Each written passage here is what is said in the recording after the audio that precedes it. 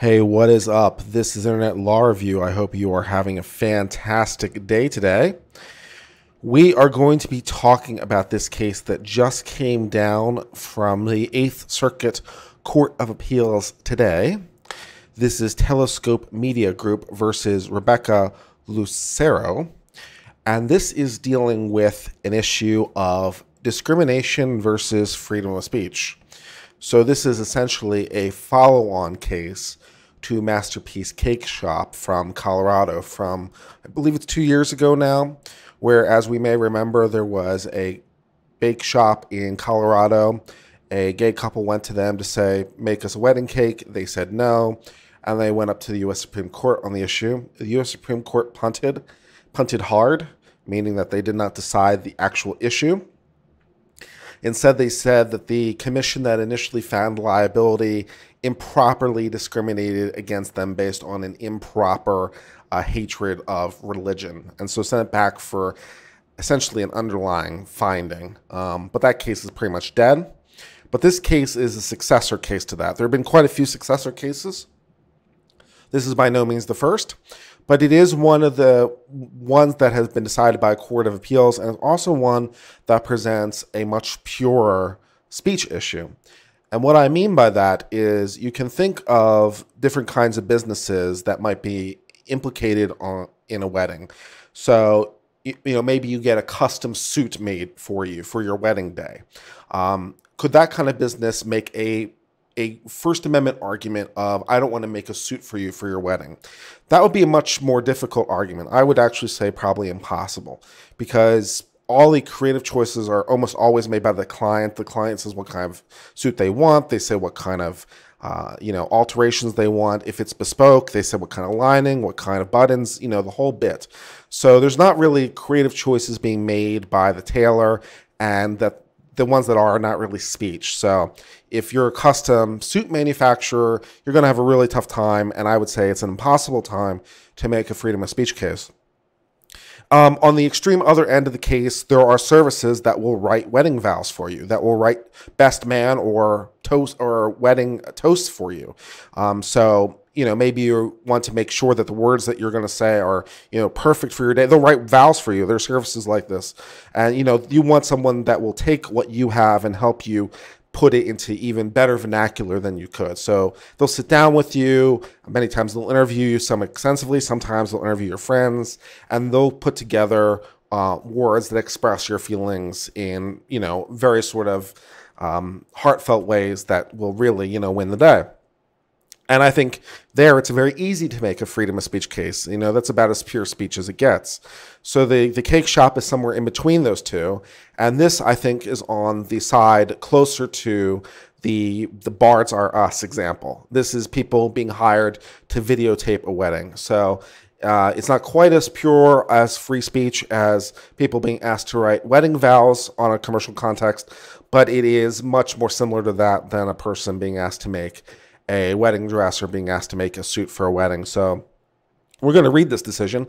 It's a two to one decision. Um, and apparently, the dissent, I've not read this. We're going to read it in full together. And apparently, the dissent had some very, very major points of dissent. So we're going to read both of it and see what we have to learn because I think it's a very interesting issue. And I think the cake example is so interesting because it's such a borderline case uh, between those two extremes. It's, it's a little bit hard to say, and it might come down to the particulars of the cake. But let's see what the situation is in this case. This was decided today. Telescope versus Rebecca Lucero in her official capacity as Commissioner of Minnesota Department of Human Rights. So let us read this and see what it has to say. And of course, there were 3 billion amicuses on this, as you would expect.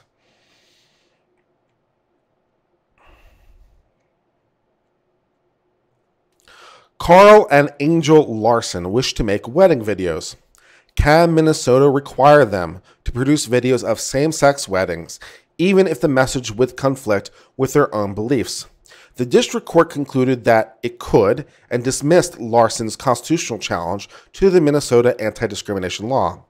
Because the First Amendment allows the Larsens to choose when to speak and what to say, we reverse the dismissal of two of their claims and remand with instructions to consider whether they are entitled to a preliminary injunction.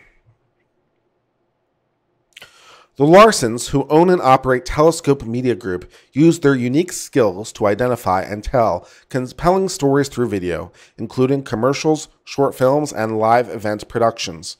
They exercise creative control over the videos they produce and make editorial judgments about what events to take on, what video content to use, what audio content to use, what text to use, the order in which to present content, and whether to use voiceovers. The Larsens gladly work with all people, regardless of race, sexual orientation, sex, religious belief, or other classification. But because they are Christians who believe that God has called them to use their talents and their company to honor God, the Larsens decline any requests for their services that conflict with their religious beliefs. This includes any that, in their view, contradict biblical truth, promote sexual immorality, support the destruction of unborn children, promote racism or racial division, incite violence, degrade women, or promote any conception of marriage other than as a lifelong institution between one man and one woman.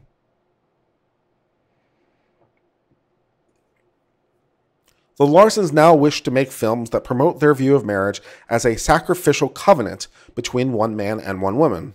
To do so, they want to begin producing wedding videos, but only of opposite sex weddings. According to the Larsens, these videos will capture the background stories of couples' loves leading to commitment, the couple's joy, the sacredness of their sacrificial vows at the altar, and even following chapters of the couple's lives. The Larsens believe that the videos, which they intend to post and share online, which will allow them to reach a broader audience to achieve maximal cultural impact and affect the cultural narrative regarding marriage. Minnesota has a different idea. Relying on two provisions of the Minnesota Human Rights Acts, it claims that decision to produce any wedding video requires the Larsens to make them for everyone, regardless of the Larsens' beliefs and the message they wish to convey. The first provision states it is an unfair discriminatory practice to deny any person the full and equal enjoyment of the goods, services, facilities, privileges, advantages, and accommodations of a place of public accommodation because of sexual orientation. The second provides it is an unfair discriminatory practice for a person engaged in a trade or a business or the provision of a service to intentionally refuse to do business with, refuse to contract with, or discriminate in basic terms, conditions, or performance of the contract because of a person's sexual orientation, unless the alleged refusal or discrimination is because of a legitimate business purpose. Minnesota reads these two provisions as requiring the Larsens to produce both opposite sex and same sex wedding videos or none at all. According to Minnesota, the Larsens' duty does not end there. As the Larsens enter the wedding, wedding video business, their videos must depict same and opposite sex weddings in an equally positive light. If they do not, Minnesota has made clear the Larsens will have unlawfully discriminated against prospective customers because of sexual orientation. The Larsens have sued Minnesota in federal district court seeking injunctive relief preventing preventing Minnesota from enforcing the MHRA challenge against them. Their principal theory is that it's unconstitutional under the free speech clause of the First Amendment to require them to make same sex wedding videos. They also raise free exercise, associational freedom, freedom to associate, equal protection, and unconstitutional conditions claims, as well as an argument that the law is unconstitutionally vague. At this juncture, all that is before us are the allegations of the Larsens complaint. Early on, the district court granted Minnesota's motion to dismiss for failure to state a claim, presumably because it was arguably premature because there had been no lawsuit yet, or no threat yet.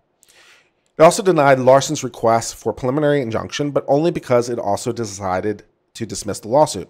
According to the court, the Larsen's free speech claim failed as a matter of law because the statute serves an important governmental interest, preventing discrimination, without limiting more speech than is necessary to accomplish the goal.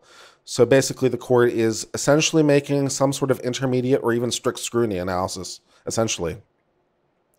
It also ruled that the statute did not violate any of the other constitutional rights identified by the Larsens. Before addressing the merits, we must first decide whether they're standing. That's a very good point. You must always have standing, and that is something that immediately occurred to me. Is like, is there enough of a threat here, or is this is this a premature lawsuit? Um, because the Larsens are the ones suing, so you know everything they're talking about is speculative. So is it is there concrete injury enough to file a lawsuit. This is almost a facial challenge rather than an as applied challenge because it isn't being applied to anything. So this is a facial challenge basically saying the law as written is facially, basically saying in every possible context, unconstitutional. Um, so it's both facial challenge and premature potentially. Let's see what the court says.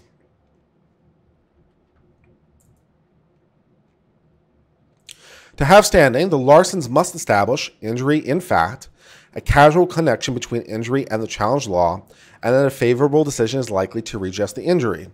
There's no doubt that Larsen's allegations satisfy the second and third requirements. Any injury would be challenged would be traceable to the statute and would be redressed by a judicial decision. The only real question is whether they've suffered an injury in fact, because it's speculative. Although a harm must be actual or imminent, not conjectural or hypothetical, to constitute an injury in fact, plaintiff need not wait for actual prosecution or enforcement before challenging a law constitutionality. In fact, all plaintiff must do at the motion to dismiss stage is allege an intention to engage in a course of conduct arguably affected with constitutional interests but proscribed by a statute, and thereby exists a credible threat of prosecution. The Larsen's constitutional claims meet the test. The free speech clause of the First Amendment covers films, so the videos that Larsens intend to make are affected with a constitutional interest. The Larsens' desire to engage in a course of conduct that includes production of videos means their claims are affected with constitutional interest regardless of the precise legal theory. Moreover, the Larsens have adequately alleged a credible threat of enforcement. If the Larsens enter the wedding video business and refuse to film same sex weddings, Minnesota has made clear it will view their actions as violations of the statute. Indeed, Minnesota has publicly announced the statute requires all private businesses, including videographers, to provide equal services for same and opposite sex weddings. It has even employed testers to target non-compliant businesses and has already pursued successful enforcement actions against a wedding, wedding vendor who refused to rent a wedding venue for a same-sex wedding. Minnesota's active enforcement of the statute leaves us little doubt the Larsens will face legal consequences if they decide to start making wedding videos. So it is uh, partially amusing to me that Minnesota has hired people to to test this. So you'll see this a lot in, for example, um, uh, businesses in terms of serving alcohol. They'll send in people under the age of 21 to see if the business will serve them or not. I just find it a little bit funny that they're hiring people to say, you know, uh, to see see whether or not they'll film a wedding that doesn't really exist. But okay. Having determined the Larsens have standing, we now address their principal claim, which is that the wedding videos are speech and they have a First Amendment right to make them only for opposite sex weddings. At this stage, our task is to review the complaint de novo, that is fresh, to determine whether it alleges one or more actionable claims, which is right because there are no factual, there's no facts yet because it was dismissed. So everything is an allegation. So everything has to be de novo. There's no alternative, right? The First Amendment, which applies to states through the 14th Amendment, prohibits laws abridging freedom of speech. It promotes the free exchange of ideas by allowing people to speak in many forms and conveys a variety of messages, including those that invite dispute and are provocative and challenging. It also prevents the government from compelling individuals to mouth support for views they find objectionable. As the Supreme Court has made clear, there is no room under our Constitution for a more restrictive approach because the alternative would lead to standardization of ideas by legislatures, courts, or dominant political groups or community groups.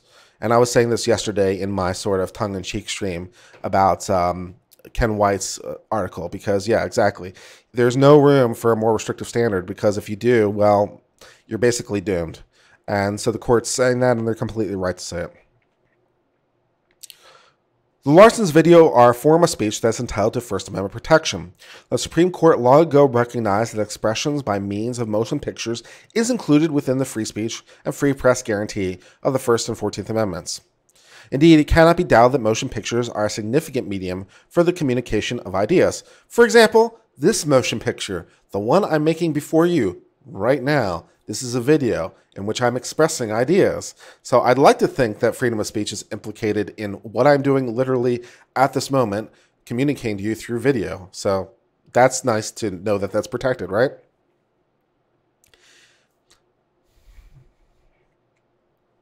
Although the Larsens do not plan to make feature films, the videos they do wish to produce will convey a message designed to affect public attitudes and behavior. I'm not sure how making a feature film is relevant one way or another, but whatever. According to their complaint, they will tell of healthy stories of sacrificial love and commitment between man and woman, depicting marriage as a divinely ordained covenant, and oppose current cultural narratives about marriage which with the Larsens disagree. By design, they will serve to be a medium for communications of ideas about marriage. See, for example, Masterpiece Cake Shop, which we talked about earlier. And like creators of other types of films, such as documentaries, the Larsens will exercise substantial editorial control and judgment, including making decisions about footage and dialogue to include, the order in which to present content, and whether to set parts of the film to music. The videos are, in a word, speech. The dissent reaches the opposite conclusion, a dissent which I'm looking forward to reading. The dissent truly says that videos are not speech. I, I look forward to reading that and understanding how that could be true. The video reaches the dissent reaches the opposite conclusion, but only by recasting or ignoring the allegations in the complaint, which is at this stage we must accept as true.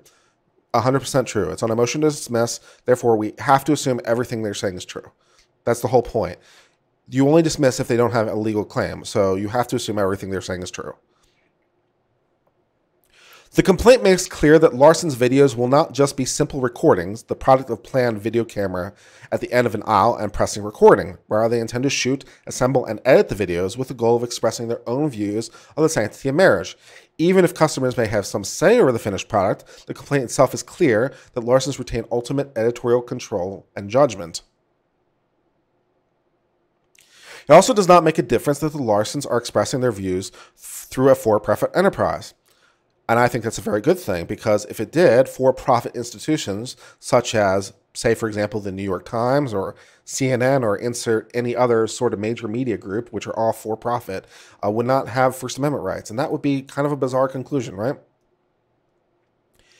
In fact, in holding that motion pictures are protected by the First Amendment, the Supreme Court explicitly rejected the idea that films do not fall within the First Amendment aegis simply because they're often produced by large scale businesses conducted for private profit. This court has repeatedly rejected the notion that a speaker's profit motive gives the government a freer hand in compelling speech. Other commercial and corporate entities, including utility companies and newspapers, have received First Amendment protections too. The reason the court has said is that they contribute to the discussion, debate, and dissemination of information and ideas the First Amendment seeks to foster no less than individuals do. Yeah, fair enough. Minnesota's position is that regulating the Larsens' conduct, not their speech. To be sure, producing a video requires several actions that individually might be mere conduct positioning a camera, setting up microphones, clicking and dragging files on the computer screen. But what matters for our analysis is that these activities together come to produce finished videos that are media for the communication of ideas. And I would tend to agree. That would be like saying that freedom of the press, in terms of like an actual physical newspaper, is not a First Amendment issue because all you're doing is and we'll make this old school, so before computers, um, all you're doing is um, you know, assembling things on a physical layout and inking keys and pressing them on paper and so forth and so on. You know, every step of that is action, but the ultimate result, of course, is speech. So breaking it down into his actions to say it's not speech would be a pretty weird consequence. If we were to accept Minnesota's invitation to evaluate each of Larsen's acts individually, wide swaths of protected speech would be subject to regulation by the government. Government could argue, for example, that painting is not speech because it involves the physical movements of a brush, or claim that newspaper is conduct because it depends on mechanical operation of the printing press. Isn't it funny that me and the court came up with literally the same example? As I said, I didn't read this case beforehand. I wanted to share my thoughts with you before live, but I literally just came up with the exact same example the court did because we it's exactly the same thing. So hey, I guess I'll give myself a point for coming up with the same uh, argument the court did. It could even declare a parade as conduct because, because it involves walking. Yet there's no question the government cannot compel an artist to paint, demand editors of a newspaper publish a response piece, or require organizer of parade to allow everyone to participate. Speech is not conduct just because the government says it is. Yeah. Minnesota's interpretation of the statute interferes with speech in two overlapping ways. First, it compels the Larsens to speak favorably about same sex marriage if it chooses to speak favorably about opposite sex marriage. Second, it operates as a content based regulation of the speech. The Supreme Court has said time and again that freedom of speech includes both the right to speak freely and the right to refrain from speaking at all. Yeah, freedom of speech does mean you have the right to not speak too, which is also a good right. The choice of the speaker not to propound a particular point of view is presumed to lie beyond the power of the government to control. Yeah. Oh, and I don't. I shouldn't have skipped over this line actually. As Janus recognized, the latter is perhaps the more sacred of the rights. Yeah. So if you're choosing actually between the right to speak freely and the right not to speak, the courts tend to suggest that the second is actually more important. So your ability to speak what your mind is in the mind of the court less important than your right not to be compelled to give speech. And I, I think it's probably correct. You know, there's a lot of there's a lot of potential reasons that we might want to restrict speech as we were discussing yesterday. But to force you to say words you don't want to say is a whole nother ballgame. You know, to to put into your mouth words you despise, I, I think is is rightly considered a whole nother ballgame and for and for just reasons. To apply the statute to the Larsens in the manner Minnesota threatens is at odds with the cardinal constitutional command against compelled speech. I do like cardinal in the same sense of like Catholic sin. It's a cardinal sin. It's basically that category. Yeah, this is this is this is bad stuff. The Larsens do not want to make videos celebrating same-sex marriage, which with they find objectionable. Instead, they wish to actively promote opposite sex weddings through the videos, which will, at a minimum, convey a different message than those videos the statute would require them to make. Even if the desire to speak selectively is provocative and stirs people to anger, Minnesota cannot coerce them into betraying their convictions and promoting ideas they find objectionable. Compelling speech in this manner, as the Supreme Court has made clear, is always demeaning. This is especially true as here because Minnesota insists the Larsens must be willing to convey the same positive message in their videos about same sex marriage as they do for opposite sex marriage. You know, I am as offended as the majority as in this case, and for basically the same reasons. To me, this is like, this is ridiculous. You can't make people say what they want. And also, it goes to the individual person and their ideas. So sometimes in cases like this, I'll see where someone will say, "Well, they're not.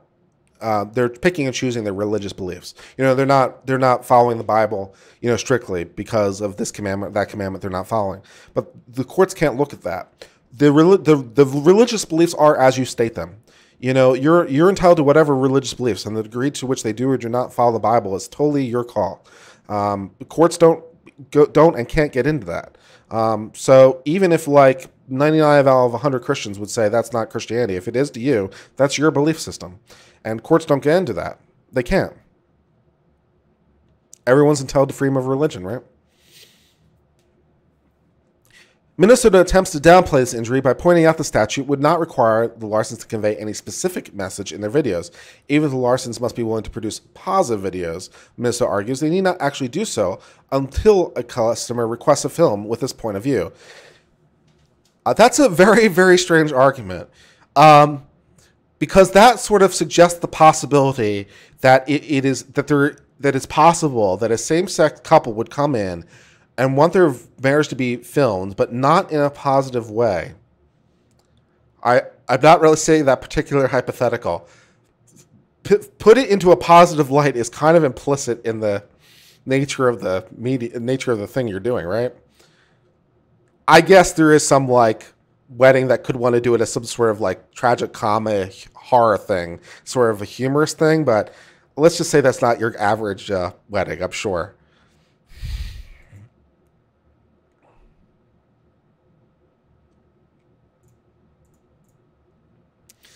Even aside from the implausibility, for it seems unlikely that any same sex couple would request a video condemning their marriage, What yeah. This argument does not get Minnesota far under the First Amendment doctrine. The Supreme Court has recognized that a government still compels speech when it passes a law that has the effect of foisting a third party message on the speaker.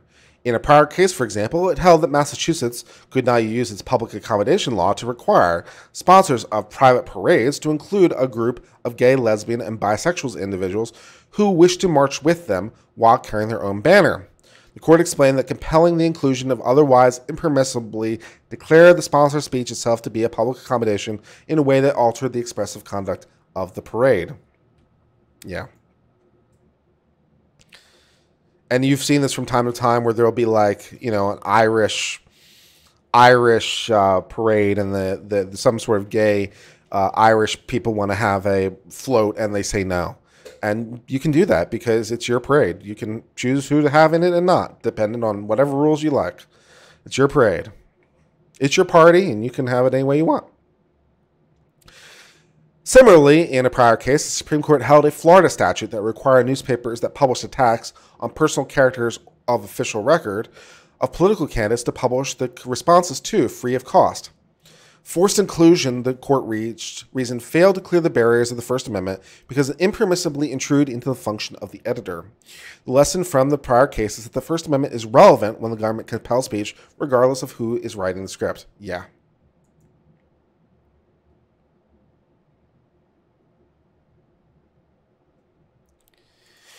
The statute also operates in this case as a content based regulation of the speech, even if, as the Supreme Court has recognized, the statute does not, on its face, aim at the suppression of speech. A content based regulation mandates speech that a speaker would not otherwise make or exacts a penalty on the basis of the content of the speech. By treating the choice to talk about one topic, opposite sex marriages, as triggering for them to talk about a topic they'd rather avoid, same sex marriages, the statute does both at once. In fact, by requiring the, stat, the Larsens to convey a positive message about same sex weddings, it goes even further. The Supreme Court's decision in Tornillo highlights the problems with content based regulations. Even if a regulation that requires speech does not directly preventing the speaker, speakers from saying anything they wished, it still exacts a penalty. In Tornillo, the penalty threatened to drive editors to conclude the safe course was to avoid controversy and to simply not publish news or commentary arguably within the reach of the statute. Here, the safe course for the Larsens would be to avoid the wedding video business altogether. Yet, this type of self censorship, a byproduct of regulating speech on conduct, unquestionably dampers the vigor and limits of the public debate. Yep. Laws that compel speech or regulate it based on content are subject to strict scrutiny. Yes, it is. Yes, content based regulations are pretty much the quintessential definition of strict scrutiny. Which will require Minnesota, at a minimum, to prove the application of the statute to the Larsens is narrowly tailored to serve a compelling state interest.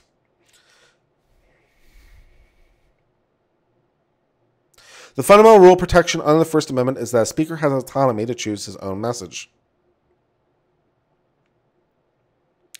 In an as applied challenge like this one, okay, so they're calling it an as applied challenge, but I'd say it's a facial challenge, but that's fine. In an as applied challenge like this one, the focus of the strict scrutiny test is on the actual speech being regulated rather than on how the law might affect others who are not before the court. Okay. So it's like a theoretical as applied challenge. Sure, why not? It's I don't I'm not really familiar with this concept, but sure, fine. The state asserts an interest in ensuring that all people in Minnesota are entitled to full and equal enjoyment of public accommodation and services. This interest has substantial constitutional pedigree, and generally speaking, we have no doubt is compelling. For example, the Supreme Court has said anti discrimination laws are well within the state's power to enact when the legislature has reason to believe a given group is target of discrimination. Indeed, the statute itself has withstood a constitutional challenge after Minnesota applied it to compel a large and basically unselective social club to accept female members. Okay. And like the dissent, we have little doubt that Minnesota has powerful reasons for extending the statute to protect its citizens against sexual orientation discrimination. But that is not the point. Even anti discrimination laws, as critically important as they are, must yield to the Constitution. Yeah, the Constitution beats all. That's the point. And as compelling as the interest of preventing discriminatory conduct may be, speech is treated differently under the First Amendment. While law is free to promote all sorts of conduct in the place of harmful behavior, it is not free to interfere with speech for no better reason than promoting an approved message or discouraging a disfavored one, however enlightened either purpose may strike the government. As the Supreme Court has explained, even if the government may prohibit the act of discriminating against individuals in the provision of publicly available goods, privileges, and services, it may not declare another speech itself to be a public accommodation or to grant protected individuals the right to participate in another speech. Hurley is particularly instructive. Oh, there's a question. So I have to raise a question. Will this case be handled the same way if refusal is based on firmly held religious belief discriminating against another protected group, for example, race? Well, that's a very reasonable question. And the the cases on point have suggested that race is different. Um, so if if that was the issue, then the analysis might be different because race race is treated differently. So you would have to make an argument as to like why it's like a genuinely held speech or genuinely held religious belief, um, and that would be it's it's a tougher argument. I'm not saying it's impossible, but it's very likely it might come out the other way because um, you know 13th, 14th, and 15th amendments, for example, were enacted on the basis of race. You know, they're they're based on based on slavery based on discrimination uh, against issues of race. So race has been treated differently by the Constitution. You know, 13th Amendment bans slavery, 14th Amendment makes equal protection, and 15th Amendment gives voting rights on the basis of race. So race has a special class uh, of protection unto itself. So how that would interfere with uh, or interact with uh, this would be um, an interesting issue. Another issue where race is treated differently is in the issue of um, in the issue of how juries um, think about things. So normally, how a jury makes a decision in a criminal case, you don't go into what the jury did or did not say.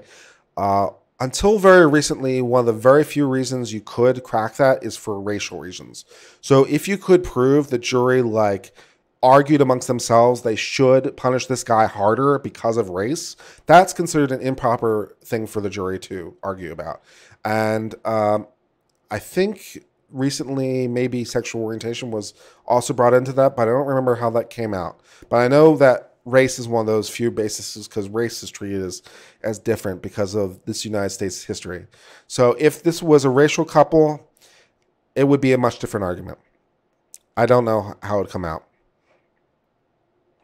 You'd have to you'd have to at least make the argument that it's your genuine bona fide religious belief that you know, black people shouldn't be married to each other, which seems like an odd belief. Uh, but yeah, it would be a different argument. Race is, race is special. Hurley is particularly instructive. When Massachusetts forced the organizers of a private parade to include a group that wished to march in the parade as a way to express pride in Irish heritage as openly gay, lesbian, or bisexual individuals, the Supreme Court concluded that applying the state's public accommodation law in this way violated the freedom of speech. Although anti discrimination laws are generally constitutional, the court reasoned a peculiar application that required speakers to, to alert their expressive conduct was not. In short, the court drew the line exactly the way Lawyer Larsen's asked us to here to prevent the government from requiring their speech to serve as public accommodation for others. Similarly, in Dale, the Supreme Court held that the Boy Scouts had a right to expel a gay rights activist despite the New Jersey anti discrimination law that prohibited it. The reason, the court said, was that the Boy Scouts' opposition to homosexuality was expressive, and forced the inclusion of the activist would have significantly affected its expression.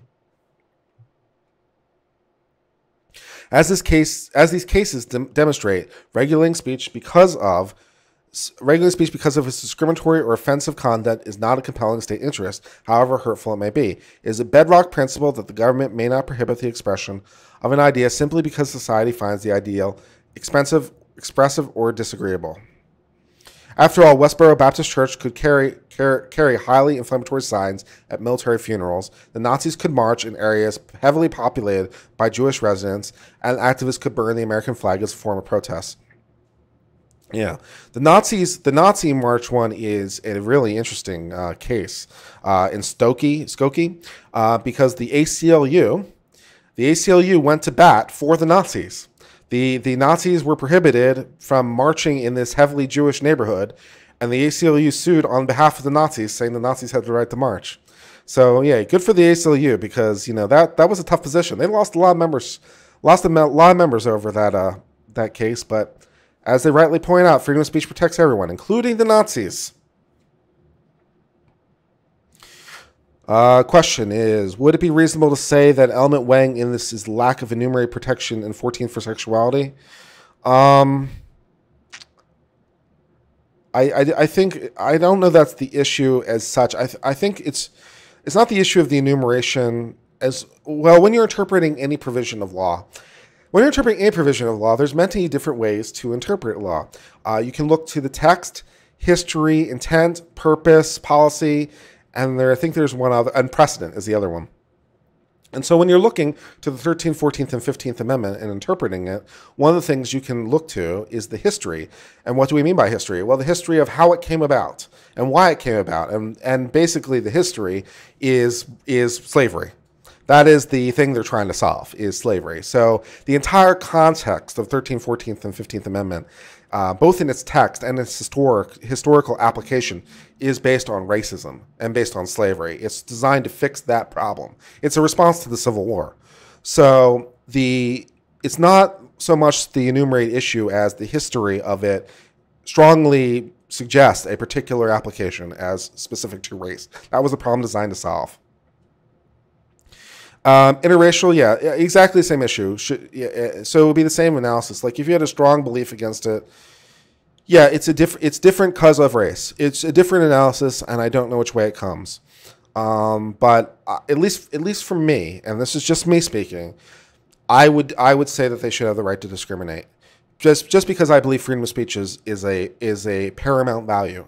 Uh, I believe it kind of beats everything, and you know it's it's tough because you know, if it's the only like providers, then there's there's issues. But I, I think freedom of speech beats all. But it, it would be a different it would be a different analysis for sure. Um, yeah.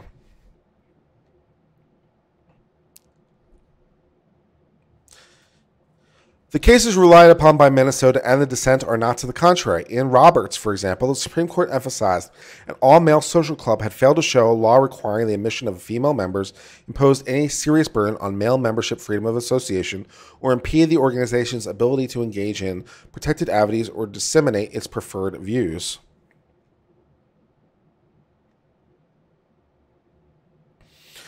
Yeah, Nexu, uh, Nexu, you, that's exactly that's exactly right. And this goes back to the famous quote from Whitney v. California as well. Um, if there be time through the processes of democracy, the cure for bad speech is more speech, not enforced silence. So, yeah, you should let the Nazis march for the exact reason that the anti Nazis can then give their march and do their fundraiser and also give their counter speech. And you know, you can hear what they have to say and you may be able to convince some people that being Nazis is not such a great idea. You know, because they have, you know, I, I don't know for certain, but I would imagine that some of the people who went to Charlottesville, for example, may have reconsidered their position since. And one of the abilities of free speech is allowing people to say foolish things in the hope that they will learn of their foolishness.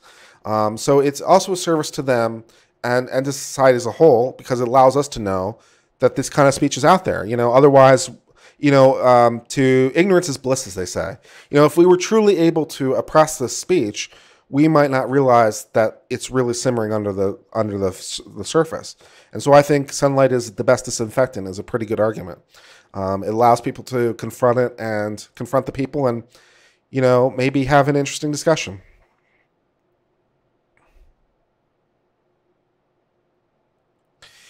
If Minnesota were correct, there's no reason that would have to stop with the Larsens. In theory, it could require the statute to require a Muslim tattoo artist to inscribe, My religion is the only true religion on the body of a Christian, if he or she would do the same for a fellow Muslim, or could demand an atheist magician perform an evangelical church service. Fact Minnesota were to do what other jurisdictions have done and declared political affiliation or ideology to be protected, it could force a Democratic speechwriter to perform the same services to a Republican, or it could require a professional entertainer to perform at rallies for both Republican and Democratic candidates for the same office.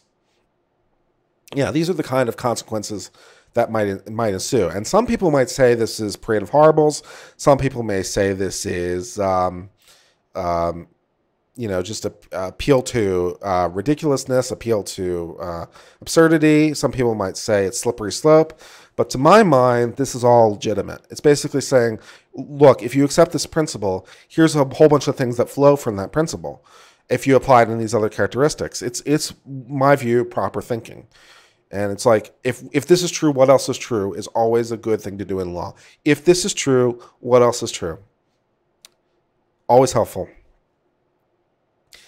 Even so, Minnesota argues that we should apply intermediate scrutiny based on a theory that once again turns on the distinction between conduct and speech, specifically when speech and non speech elements are combined in the same course of conduct and the government seeks to regulate the non speech element, intermediate scrutiny applies under the incidental burden doctrine. Right. So if you if both are combined and you're trying to regulate the non-speech elements, then intermediate scrutiny applies. That seems perfectly reasonable, you know, because um, you're not targeting the speech and it's incidental to what you're trying to do, but still because you're burdening speech, intermediate scrutiny seems reasonable. According to Minnesota, the statute only incidentally burns speech because it neutrally regulates commercial conduct and economic activity and requires Larsens to do nothing more than to provide services to customers regardless of sexual orientation.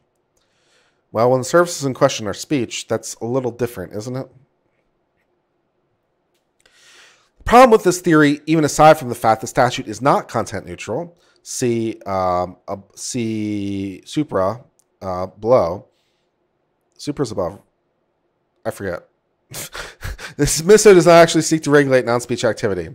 The commercial conduct and economic activity to which Minnesota refers is the making of the videos themselves, which, as we've already explained, is speech. Yeah. Minnesota cannot specifically identify anything else, meaning it is just repackaging this theory that the videos are not speech.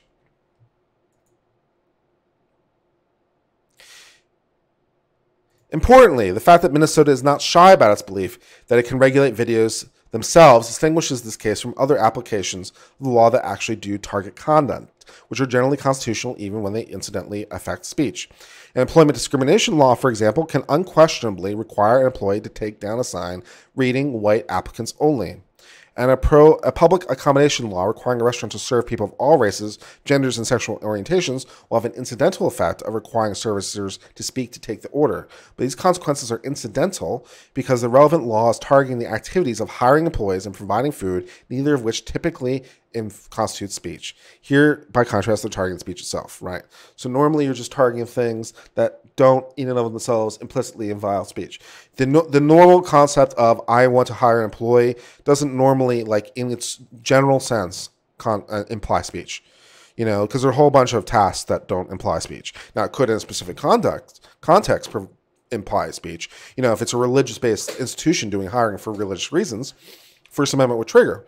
But you know, generally hiring employees isn't going to do it. And normally serving food isn't going to do it. There's normally not a First Amendment interest here. But here we're talking about making videos.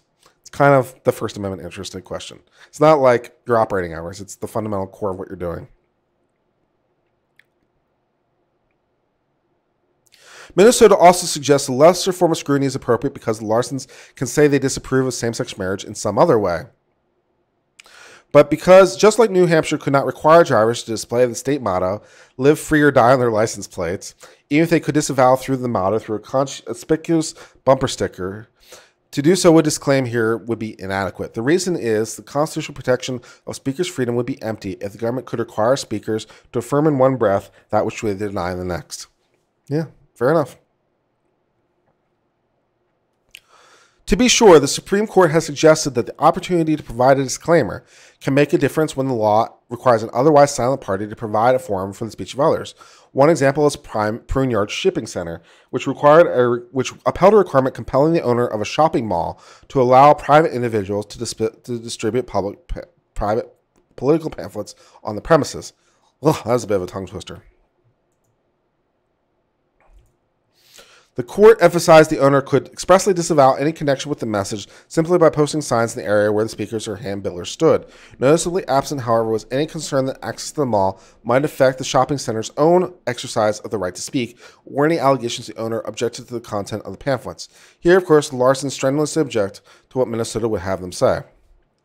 And I don't know enough about the underlying case to comment because the idea of allowing a mall, forcing a mall to allow people to distribute pamphlets is a bit odd. Um, but so I don't not familiar with the underlying case.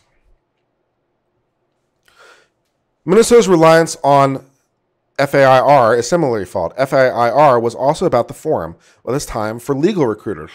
Law schools, which invited and hosted recruiters of all types, objected to hosting the military because of a disagreement with the policies that excluded gays and lesbians from serving. Federal law, however, requires schools to give equal access to military recruiters or lose federal funding. A school sued, claiming that they had a First Amendment right to exclude military recruiters from campus. The Supreme Court disagreed, if the, if the, even if the schools had to send emails and post notices on the behalf both elements of speech. The Supreme Court upheld the law because it did not interfere with the law school's expression or co opt the speech. Simply hosting recruiters was not speech. That makes sense. Simply hosting them is not speech. Okay, according to the court. So the accommodation of the military recruiter's message did not sufficiently interfere with any message of the school. Besides, just like the mall owner in the Pruneyard's case, the school remained free to express whatever views they had on the military congressionally mandated employment policies. Cases like Hurley, by contrast, involved unconstitutionally compelled speech because the complaining speaker's own message was affected by the speech it was forced to accommodate. Okay. And incidentally, lest I need to um, point this out, of course, military policy hasn't changed. Gays and lesbians can now, of course, join the military. These are older cases that are talking about. The facts of the cases pleaded by the Larsens are much closer to Hurley than Pruneyard or Fair. Rather than serving as a forum for the speech of others, Larsen's video will carry their own message. The statute interferes with the message by requiring, requiring them to say something they otherwise would not. Larsens then lose autonomy to choose the content of the message, which violates the cardinal constitutional command. Yep. Consistent with, and then we have the three uh, little three dot thing, just bas- basically uh, indicates a separation of thought, which I kind of like. It's a nice little linguistic tip, and it usually says you're getting to the very end. It's just like a break of break of logic. Consistent with the Supreme Court's instruction that anti discrimination laws do not, as a general matter, violate the First Amendment, our holding leaves intact other applications of the statute that do not regulate speech based on conduct or otherwise compel an individual to speak. But when, as here, Minnesota seeks to regulate speech itself as public accommodation, it has gone too far and its interests must give way to the demands of the First Amendment.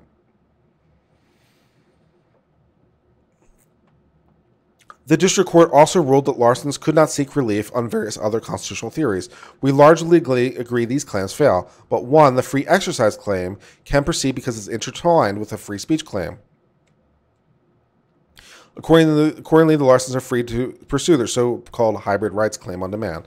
Yeah, so the the freedom of religion argument and the freedom of speech argument are two different arguments, and they have two different sets of constitutional lines, and they can theoretically come out two different ways. So fair enough. The freedom of speech argument is better than the freedom of religion argument here, in my view. But why not plead both? The basic premise of the Larsen's free exercise claim is the statute, as interpreted by Minnesota, prevents them from fully exercising their religious belief. It does so because they will have to show support for same sex marriage, even though they object to it on religious grounds or refrain from making wedding, wedding views at all. This is not a typical free exercise claim. Yeah, it's not. Fair enough. Those seeking relief under the Free Exercise Clause of the First Amendment will ordinarily argue that re- religion requires them to engage in conduct the government forbids or to forbid certain conduct the government requires. If the Larsens claim fell into one of these two categories, then we'd simply apply the rule that neutral, generally applicable laws that incidentally burden a particular religious practice do not have to be justified by a compelling governmental interest. Yeah, so as a general proposition, if there's a law that's generally applicable, then it doesn't have to be justified by a governmental interest. However, see the Freedom of Restoration Act, which has modified this substantially.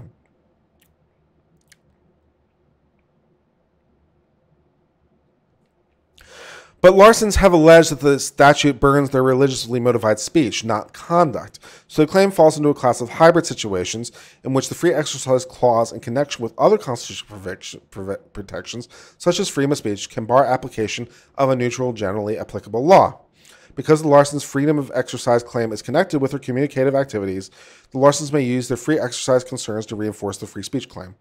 Yeah, uh, it's basically the, what the court is saying, and I think is right here, is it's basically not really an argument unto itself. It's basically an argument in support of the free speech claim, which I think is probably the right answer. Minnesota, the district court, and the dissent seem to think that we can simply ignore the hybrid rights distinction from Smith because it was dicta. Dicta is basically when a court says something that is not strictly necessary for the case to be decided. So if a court says something just like kind of off the cuff, then it's dicta. And what is and is not dicta can get kind of complicated, but you know, if they just say something like, oh, by the way, um, then it's not really binding. For two reasons, this cannot be applied here. First, we apply the hybrid rights doctrine post Smith in a different case, which rejected the church standalone free exercise claim, but recognized the church's other constitutional claim breathed light back into the hybrid rights claim. Because of this aspect of the Cornerstone Bible Church resurrected a claim that had been left for dead by the district court, our application of hybrid rights theory was part of the holding because it was essential to the judgment of the case. Second, we do not agree with the premise that Smith's analysis of the hybrid rights claim was dicta. Smith upheld a generally applicable law that interfered with the sacramental use of peyote. To reach this conclusion, however, the Supreme Court had to grapple with a long line of cases that treated free exercise clause as a shield against laws burning religious practices. Rather than overrule this decision, the court explained that these involved a hybrid situation, which the free exercise challenge was intertwined with another constitutional right. That means Smith did more than simply speculate about how to treat a hybrid claim in some sort of hypothetical future case, rather describe the operation of an existing doctrine, one that then applied to the parties. Although the claims did not prevail under the hybrid right doctrine in Smith, the court's decision of it was far from dicta. Yeah, that makes sense. So the court is basically saying, here's a whole bunch of analysis that explains the law. This party doesn't win, but that's still a valid exploration of the law. Fair enough. Of course, it's not at all clear the hybrid's right doctrine will make any real difference in the end. In this commentator opinion, it almost certainly won't. After all, the Larsen's free speech claim already requires application of strict scrutiny. As a practical matter, then, the fact the videos also have religious significance may not move the needle much. Yep. But because the Larsens have adequately alleged the hybrid rights claim, the district court must allow them to develop it on remand. Fair enough. The Larsens cannot prevail on any of the remaining claims, beginning with their allegation the statute violates their associational freedom rights, freedom to associate. Their theory is the law forces them to join together and speak with those who wish to express opposite messages about marriage, which unconstitutionally impairs their ability to express views and only their views. Although the Larsens call it associational freedom, this is really a disguised free speech claim. absolutely true. The right to expressive association protects groups from being forced to accept members they do not desire. But requiring the Larsens to produce same sex wedding videos would not force them to accept same sex couples as members of their company or some other group to which they belong. Exactly right. Rather, they'd simply have to associate with the same sex couples in the same in the sense they'd have to interact with them. Standing alone, these interactions would not uh, affect their ability to advocate public or private viewpoints. It's only when these interactions require the Larsens to speak in certain ways that impairs their ability to express their views. Indeed, the Larsens' allegations all but doom their associational freedom claim. The complaint stresses that the Larsens gladly will work with all people, regardless of sexual orientation, as long as the message of any video they are asked to make fits with their belief. Larsens' counsel reinforced this point at oral argument, explaining they have no problem making other types of videos for gay or lesbian customers. It's clear then that serving to, speaking to, and otherwise associating with these customers is not the harm they seek to ratify. Absolutely true. The real objection is the message. Yep. The Larsens have also brought a claim alleging violation of equal protection. Their argument begins with the uncontroversial premise that free speech and free exercise of religion are fundamental constitutional rights. Yes, they are. The statute treats people differently in the exercise of these fundamental rights, they say, because filmmakers who support same sex marriage are free to create weddings of videos of those who align with their views of marriage, while those who oppose it are not. So this classification affects fundamental rights matter strict scrutiny, a standard the statute cannot satisfy. The problem with the logic lies in the middle step, the classification that they believe they identified. The statute does not classify anyone based on their views about marriage. Rather, under, mis- uh, rather under the interpretation, every business must be willing to film both. In other words, the law applies equally, and that is 100% true. 100% true. It applies to everyone equally. Absolutely true. To be sure, the Larsens and others like them are unhappy with the statute's requirement, but this dissatisfaction with the law is not itself a classification. Indeed, by the Larsens' logic, any rule that affects religiously modified conduct will be subject to strict scrutiny because it would create two groups of people those who are happy with the law and those who are not. But we know from Smith that the government has the power to enact neutrally generally applicable laws. We accordingly reject the attempt to manufacture a legal classification where it does not exist. Yep. The Larsens further allege the statute is vague and allows unbridled discretion. They focus on the statute which forbids discrimination unless the alleged refusal is because of a legitimate business purpose. According to the Larsens, this exception creates uncertainty about the scope of the law. Not even close. Not even close. Let's try though. I'd argue it as a lawyer. I'd argue it as a lawyer. I just know I'm going to lose it. The statute, as applies to Larsen's, is not unconstitutionally vague. We consider whether the statute is vague as applies to particular facts at issue. If a plaintiff who engages in some conduct that is clearly prescribed cannot complain of the vagueness as it applies to the conduct of others. Yes, whether it would be vague in some circumstance doesn't mean whether or not it's vague in this circumstance. Great. The allegations in the complaint once again doom the argument, this time because they insist the statute prohibits them from creating only opposite sex wedding videos, and the Minnesota has categorically declared the religious objections are not a legitimate business purpose. So the argument that they're left in legal limbo rings hollow. Yeah, it's like you can't have both at the same time. Although maybe this was intended as a backup argument, it's basically like if not one, then the other, in which case this was brilliant legal strategy. Just in case that they lose on the one, they can gain on the other. So maybe that was the intent. In which case, brilliant legal strategy by their lawyer. It's like you know you're going to lose one of them, but make both. I buy it. And you don't know which one the, the appellate court is going to argue, so you have to argue both at appeal, too, even though you know you're going to lose one. Yeah. Fortunately, the, the Code of Federal Regulations and the, um, the, the, the, the federal regulations for civil procedure make absolutely clear that a lawyer can, in fact, argue mutually inconsistent arguments. So you can absolutely argue two mutually inconsistent things at the same time. So that's a good thing. The Larsens also cannot explain how legitimate business purpose exception gives unbridled discretion. Larsens failed to cite even a single example of discrimination in enforcement of the exception, much less show that Minnesota has a pattern of discrimination in its enforcement. That would be like a selective prosecution argument, and that's weak. Nor is the phrase legitimate business purpose, which mirrors language routinely used elsewhere in anti discrimination law. Yeah, it's, it's really not a problem. What that's contemplating is basically like you have another commitment at the same time, or your staff is sick, or your equipment's broken, or like insert any other like legitimate business reason. It's not too hard to come up with some, as long as it's legitimate and you're just not manufacturing it.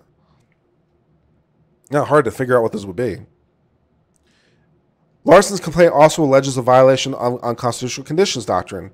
They reason that the statute conditions their right to promote their religious views of marriage on their willingness to forfeit their right to be free from government compelled speech. This argument is just a replay of other claims under an ill fitting framework.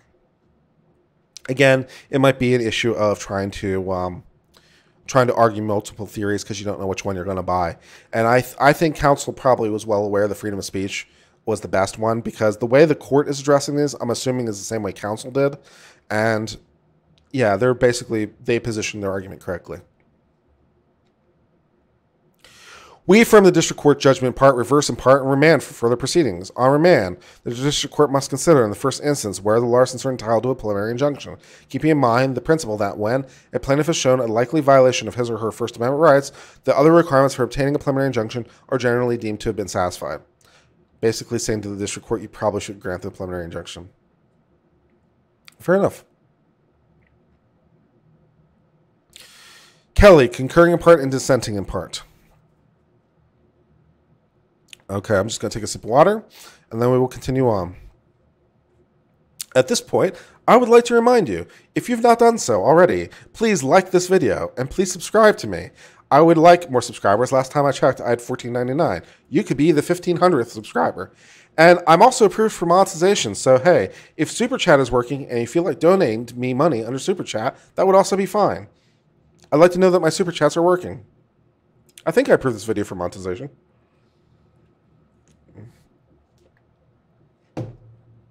Anyways, carrying on.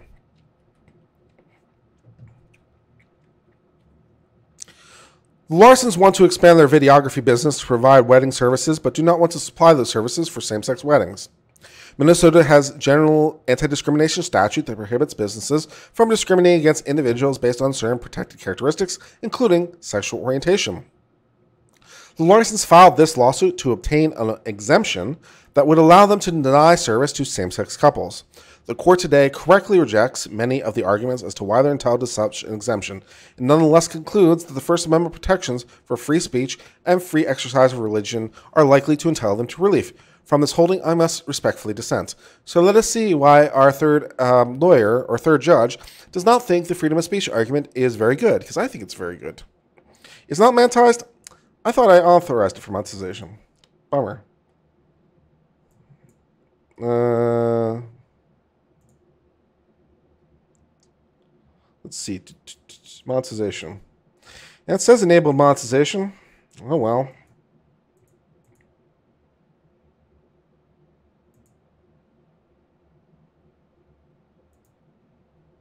Yeah. Let's see, where am I? No court has ever afforded uh, no court has ever afforded affirmative constitutional protection to private discrimination. Indeed, case law has long recognized that generally applicable laws like Minnesota's may limit the First Amendment rights of an individual in his capacity as the owner of a business serving the public. Although religious and philosophical objections to same sex marriage are protected by the First Amendment, such, such objections do not allow business owners to deny protected persons equal access to goods and services as interneutral and generally applicable law.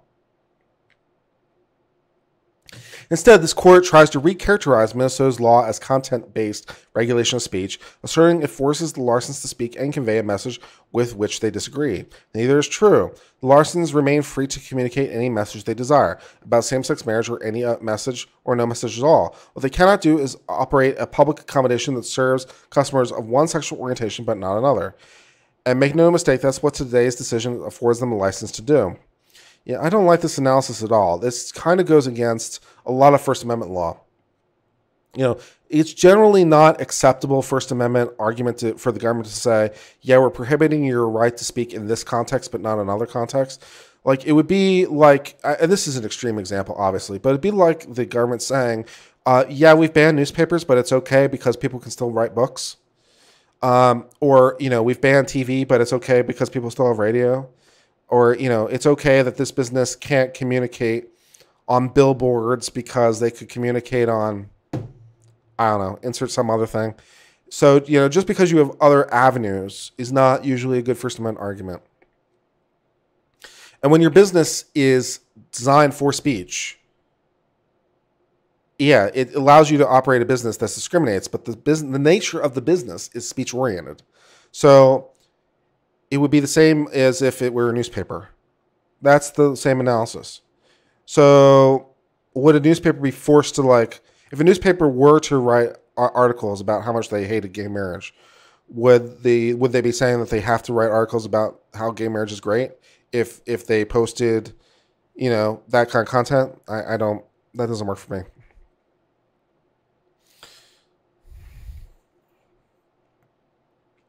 The axiom that places of public accommodation are open to everyone is deeply rooted in the American legal system. Since at least the 16th century, the common law recognized that innkeepers and common carriers were obliged to serve all potential customers. Yeah, the innkeeper one in particular is really important. After the Civil War, states began to codify these protections through public statutes to protect African Americans through discrimination. Yes, they certainly did.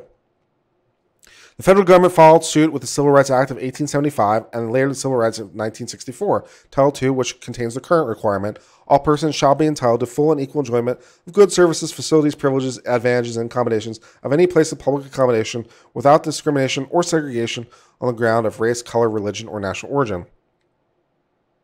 I'd like to take note that the statute does not say anything about sexual orientation because it was written in 1964 and you wouldn't expect it to.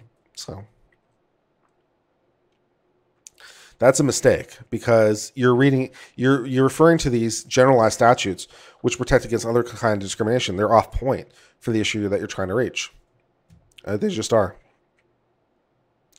Public accommodation laws enforce the basic and fundamental right to be treated as an equal in American society. Private discrimination saps the moral fiber of the nation and mars the atmosphere of united and, so, classless society. Yeah, th- uh, this is also kind of a weak thing for a court to do, and I would argue a mistake. When you're citing like just statements of random senators, random congressmen from the floor, that's not really a good thing to do that helps you like understand the statute. The problem is that the statements of any given senator or any given congressman don't say much as to the intent of Congress as a whole, right? Just because Senator X said whatever about a statute doesn't mean that's Congress's as a whole's understanding or meaning or intent for the statute. So citing Congress, citing a member of Congress, even citing a committee, um, is is not really good for him. Now, sometimes Congress will actually, in the statute itself, cite provisions as to their meaning. They'll actually put it in a, a section, and that's perfectly fine to cite because Congress passed it. But random statements from the floor are are not great because they don't tell you any. They don't tell you very much about what Congress meant, even if they're the author of the bill, right? Even if it was Senator Kennedy who proposed the bill and wrote it, that speaks to what he wanted it to mean, but it doesn't speak to what Congress wanted it to mean right? Because Senator Kennedy is not the same thing as Congress.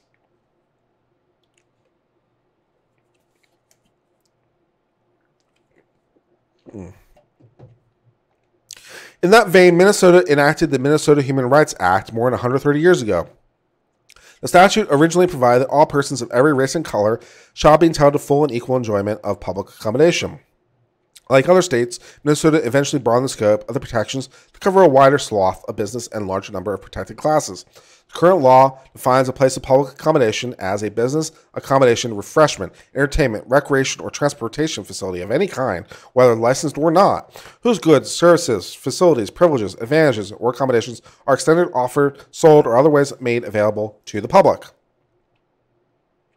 That's pretty all encompassing, right?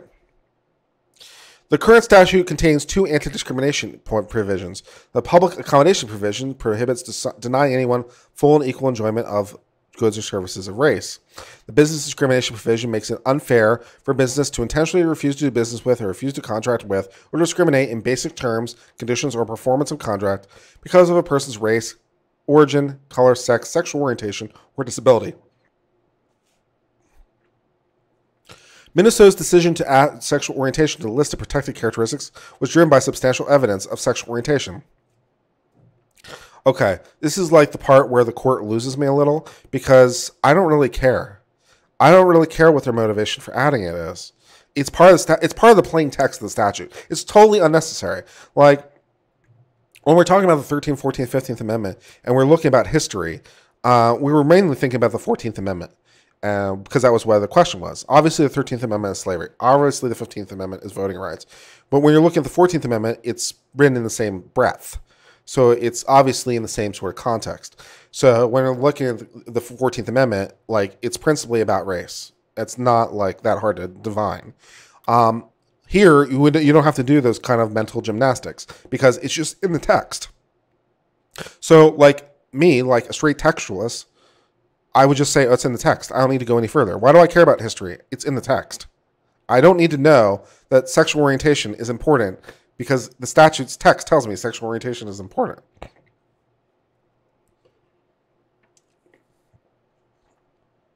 Skip, skip, skip history. Skip, skip, skip some more history. Uh, skip, skip, skip some more history. Minnesota is not alone. Blah, blah, blah. Uh, many religious groups support this. I don't care because each person is entitled to their own religious beliefs. So sure, other religious groups thinks it's great. Totally irrelevant to the issue at hand. Skip, skip, skip. Uh, skip, skip, skip. Some more. Okay, so now we'll get down to some stuff that might matter. The Larsens have sincere views about marriage rooted deeply held in their religious beliefs. They are Christians who base their beliefs in the Bible.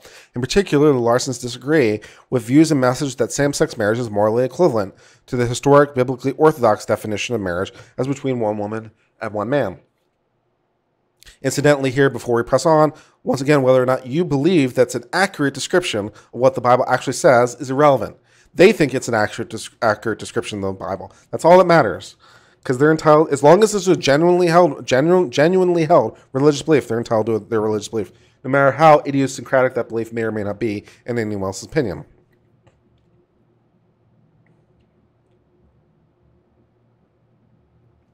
Their religious and philosophical objections to same-sex marriage are entitled to respect.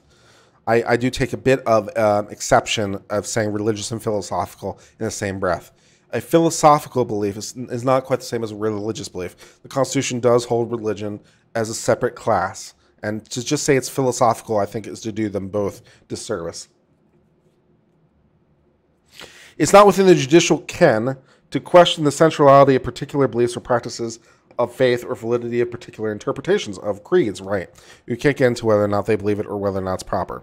For many people, these are not trivial concerns, but profound and deep convictions, accepted as ethical and moral principles to which they aspire, and thus determine the course of their lives. The First Amendment undoubtedly protects the Larsens' ability to advocate with the utmost sincere conviction that, by divine precepts, same-sex marriage should not be condoned incidentally citing Obergefell, which is nice because that was the case that that was the case that legalized same-sex marriage nationwide. Obergefell. So Obergefell itself says that people still can advocate against that. So nice, nice cite. But this case is not about the Larsens' view as individual citizens to worship freely or speak openly. It's about their rights as owners of the Telescope Media Group, a Minnesota for profit corporation. TMG provides a variety of video and media production services to the public. TMG does not currently make wedding videos, but the Larsens want to expand TMG to include the service. The Larsens aver, which is they offer, that they desire to use their unique storytelling and promotional talents to convey messages that promote their beliefs. To that end, the Larsens want to offer video wedding services, but they don't want to provide to same sex couples. Larsens concede that by offering video services to the general public, TMG qualifies as a place of public accommodation. As a for profit corporation, it falls outside the exemptions included in law for religious and secular nonprofits. Fair enough. The public accommodation provision therefore thereby prohibits TMG from denying anyone full and equal enjoyment of services based on sexual orientation, and business discrimination provision prevents it from discriminating in terms of contract based on sexual orientation. Minnesota has guides stating these provisions mean a business that provided wedding services may not deny services based on sexual orientation. You see, in general, I would agree. But again, we're talking about speech. We're not just talking about services, we're talking about speech. So there's a difference. Someone said, Welcome to why marriage isn't 14 anymore, as the Bible would have it. Yeah, I mean, you know, fair enough. And, uh, yeah, but people are entitled to idiosyncratic beliefs, and they're entitled to be what some people would call cafeteria Christians. You know, some people say, "Oh, you're just picking and choosing uh, provisions you like." Well, for better or worse, people are allowed to do that. As far as the law is concerned, as to what God would uh, agree with, you know, that's the subject for another person. I am not God. I know it's disappointing, but true. Larsens also expressed a desire to create a website that includes the following disclaimer. Because of TMG's owner's religious beliefs and expressive purposes, it cannot make films promoting any conception of marriage that contradicts its religious beliefs that marriage is between one man and one woman, including films celebrating same sex marriage. This is interesting that they want to put up this disclaimer. Now, this disclaimer might not might be different than the actual services itself. Now, I'm not an expert on uh, housing law, for example. But as memory serves, and don't quote me on this, if you are if you are living in a property and you have like less than four properties, I think it's legal for you to discriminate on the basis of race. Don't quote me on that. Um, but even though you can, you can't advertise it as such. So if you have less than four properties and you're living in one of them, it's legal, I think, to discriminate on the basis of race, but you can't like put that in your ad. Um, so even though you can like re- refuse to let them rent, you can't put it out there. So it might be legal for the state to say you can't put the statement on your website, and still uh, legal for them to discriminate. So just an interesting aside uh, that I thought you might find interesting. The Larsens bring this lawsuit to enjoin application of the statute as providing exemptions from public accommodation.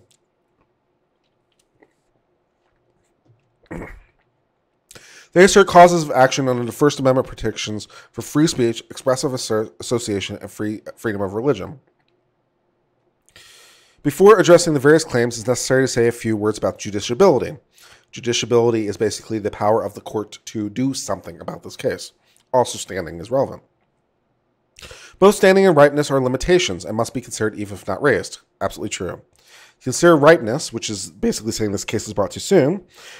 Courts consider the hardship caused by delay, the extent to which judicial intervention would interfere with administrative action, and where the court would benefit from further factual development. The touchstone ripeness is where the harm has, has matured enough to warrant intervention. Similarly, to bring standing to bring pre-enforcement First Amendment challenge to a statute provides criminal pending, provides for criminal penalties, there must be a credible threat of present or future prosecution.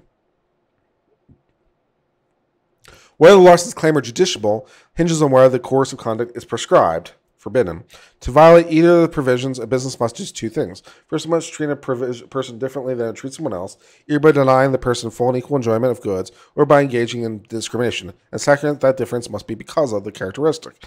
As applied to this test, whether the business model violates the test depends on what service they generally provide and whether they deny the service because of the characteristic. For example, a bakery that does not make cakes does not violate the statute by declining to bake a wedding cake because it's not treating them differently than it would anyone else. Because we're at the pleading stage, our only guidance comes from the complaint. TMG currently offers a wide variety of video media production services, but does not offer wedding services. So if a same-sex couple approaches today, Larsen would serve them to violate the statute because it does not currently make that service. But the complaint alleges Larsen's want to expand, specifically the creation of it. A couple seeking the service will pay the video for the event. The Larsens are masters of their own complaint and must accept the service that they want TMG to provide. With this understanding, there's little doubt that the offerings of the films uh, offering to film heterosexual but refusing to film homosexual purely because of homosexual would violate statute. Larsen's concede as much, alleging that they want to expand offer, but only because the statute prohibits them. Yeah, it does. It does obviously, and you have to concede that. This entire argument depends on that. The court uh, Uh, opinion attempts to cast some doubt as where the plain text will require TMG to provide wedding services for same sex if it offers it to heterosexual. The imp- implication is the statute only would prescribe the conduct because Minnesota reads the law that way. For their part, Larsen's argue it would not create a film celebrating. This argument appears to be premised on the idea TMG would not provide is not wedding videos, which is how it's phrased, but opposite sex wedding videos. Yeah, that's that's a lame argument. Yeah. Yeah. And this argument does fail. Under the statute, a business cannot, cannot define services in such a way to incorporate discriminatory characteristics. Yeah. It's like saying, I offer, I'll, I'll marry a man and woman regardless of your sex. Yeah, it's, yeah. Yeah. The Larsens cannot define their service as opposite sex wedding videos anymore, and a hotel can recast the service as white only lodging. Nor did the Larsens attempt to do so. That's because the statute does not prohibit TMG from treating customers differently based on sexual orientation. It provides deny any person enjoyment because of sexual orientation. To conclude, otherwise, we'll redefine discrimination. Yeah, no one's trying to do this. This argument is off point. Um, and now we're going to talk about discrimination on characteristics has to become intertwined with other characteristics. Yep, that's fine. So basically, you're discriminating based on one reason, but you're really like discriminating on against a protected reason. So I don't know what would be a good example without being like stereotypical, but you know, insert your stereotype of choice. Of you know, I won't answer do anything that with a customer who has X, where X is a trait only one race is likely to have. Accordingly, intentionally providing intentionally refusing to provide services is prohibited conduct. Larsens made clear they refuse any status service to any wedding, and the only reason they do so because of the sexual orientation. Okay.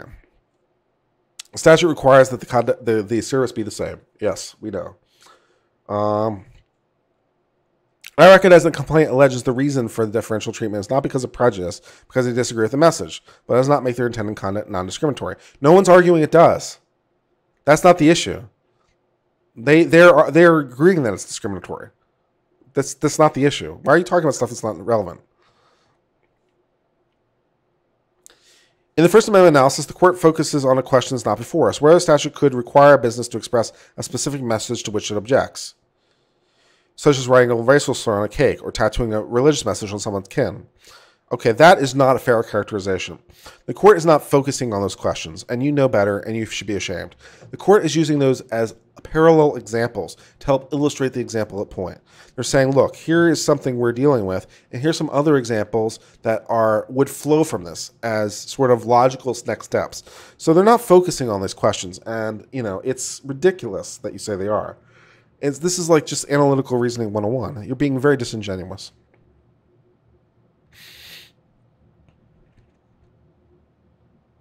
At oral argument, Minnesota represent it would not view a denial of services violating statute because not discrimination because of the protected status. Okay, yeah, that's fine. And citing masterpiece cake, blah blah blah.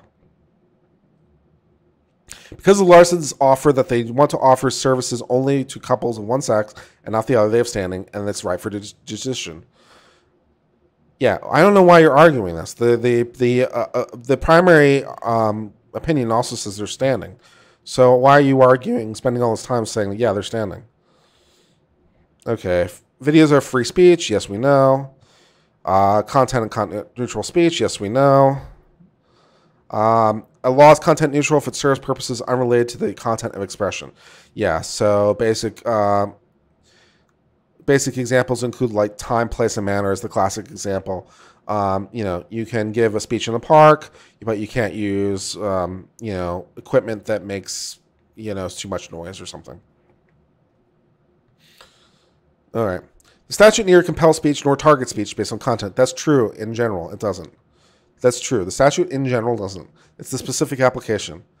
So I guess that's why an as applied challenge rather than a facial challenge. So that makes sense. In fact, the law says nothing about speech at all. True. It doesn't. Um, the Supreme Court has re- repeatedly reaffirmed the views targeting discrimination do not on their face target speech or discriminate on the basis of content. Yeah, correct. Um, but we're in a very specific content. You know how I say a lot that law is fact specific? This is the kind of thing I'm talking about. And the factual situation is rarely relevant here. So, yeah, the statute on its face doesn't target religion. The statute on its face is content neutral. Uh, it's not even speech related on its face. It's just in this specific, particular application of this particular kind of business because of the nature of the business. Uh, uh, this analysis is ridiculous because it would be like a law saying that's otherwise neutral. If it's a newspaper, it's still neutral. I mean, it doesn't make any sense.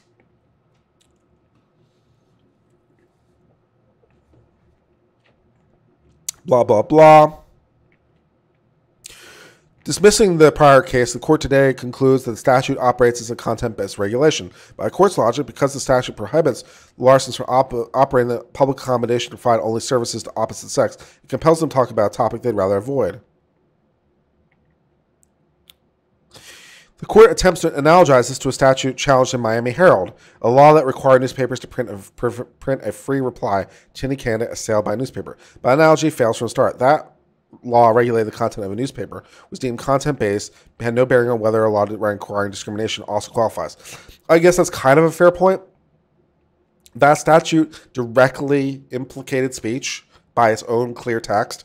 It says if you print an attack, you have to print a rebuttal. So that's clearly on its face speech. This isn't this isn't a facial challenge. And now I understand why it's not a facial challenge because on its face, it's not unconstitutional. On its face, it has nothing to do with speech. This is an as applied challenge because, as applied, this would be a free speech issue because of the nature of the business. So I, I agree and disagree simultaneously. The court opinion relies excessively on Hurley, which is dealt with the application of public accommodation to a parade. But this court's discussion of Hurley omits crucial details. In Hurley, the Supreme Court made clear public accommodation law does not on its face target speech or discriminate on the basis of conduct, the focal point of its prohibition being the act of discrimination against individuals in provision of publicly available goods on prescribed grounds. Citing Roberts, the court also stated that public laws are well within the state's power to enact when its legislators have reasons to do so that are not generally as a matter of violations of the amendment. Of course, if public accommodation laws were content-based regulation of speech, they would not, as a general matter, be constitutional. The Supreme Court ultimately concluded that applying the public accommodation law to the parade did not withstand constitutional scrutiny, but did so because Massachusetts was attempting to apply the law in a particular way. A, a parade is by definition an expressive association. See, this is exactly where this is exactly where the dissent is getting wrong. This is exactly where it's getting it wrong. It's exactly the case. It's because this state would also be attempting to apply the law in a peculiar way. Instead of a parade, it would be a videography business. And you would say a videography business is, by definition, instead of an expressive association, a free speech enterprise. But the analysis is exactly the same. It's not that the statute's on its face discriminatory. It wasn't in Hurley, it's not here. It's that it's the as applied challenge.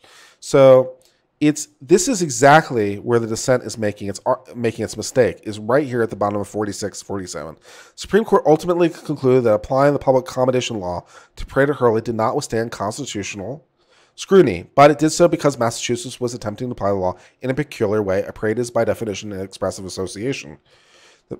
Yeah that's exactly the same reason that this case is proper because of the same exact reason. So you made the, you made a mistake you made a mistake right here. Hurley thus stands for the proposition that facially neutral law may be subject to strict scrutiny if it's applied that way, and it materially burdens speakers' autonomy to choose the content of the own message, which is the issue at point. Uh, in cases where law did not significantly impair the ability to choose the own message, such as where the expressive goals are related to the exclusion, the, found, the court has found no violation. Um, yeah, that's true. But again, it's it's specifically because it's speech. It's not association like it was in the military case. It's not it's because it's speech. Here, taking the complaint as true, the Larsens cannot show that the viewers of the video would likely understand them to be expressions of the peculiar particularized message of marriage. I'm not sure that's relevant or not. Uh, just because a viewer would not view it that way doesn't mean that it isn't that way. And so I, I don't know if that's relevant one way or the other. Although an artistic endeavor, wedding videos, like other expressive wedding services, do not primarily reflect the views of the wedding videographer, but the couple getting married.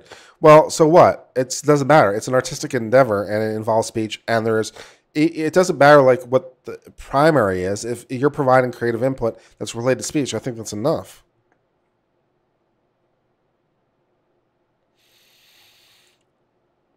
Blah, blah, blah.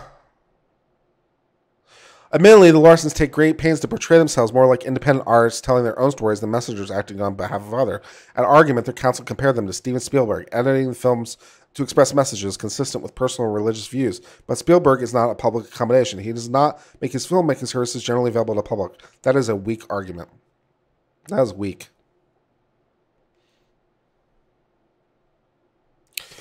Just because Larsens want to sell services that are in some manner expressive does not mean Minnesota's content neutral regulation suddenly becomes content based.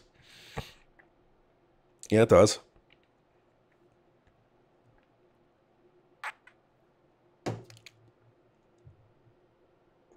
Blah, blah, blah. The court's opinion warns above that applying intermediate scrutiny to the statute would invite government regulation wide swath to protected speech. Hardly. Law telling independent artists what pictures to paint or newspaper articles to publish would still be subject to strict scrutiny. But when an independent artist chooses what to paint and then sells a finished product, it's not the same as a boardwalk cartoonist who offers his services to any passing beachgoer. Hmm.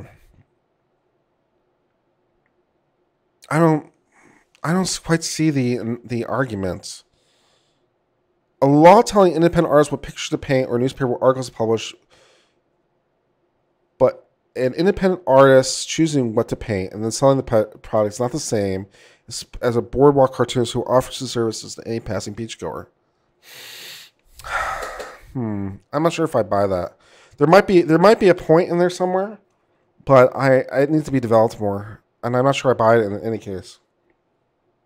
If the cartoonist refuses to paint the portrait of an interracial couple or a woman in a hijab, the state regulation that expressive conduct via st- content neutral does not trigger sp- strict scrutiny. Hmm. I'd have to think about that more. If your if your business is like just arguing to paint whoever walks by, there might not be enough like creativity in that to be speech. So it might be a different argument. This is a little bit more complicated. If it would be like more like following them around for a day, or maybe like just taking photographs. So if your business is like taking photographs of like anyone who walks by, maybe like you know, be a, particular tourist att- attraction, and like you know, uh, I don't know, uh, Big Ben maybe, and you you offer to take. Well, that's a bad example because it's in the UK. Um, One World Trade Center. So you want to take a picture of, tourists who are coming by, and you offer to take their pictures. Is there like enough creativity in that to be a speech issue? I don't know. Maybe, maybe not. Uh, I'd have to think about it a lot more.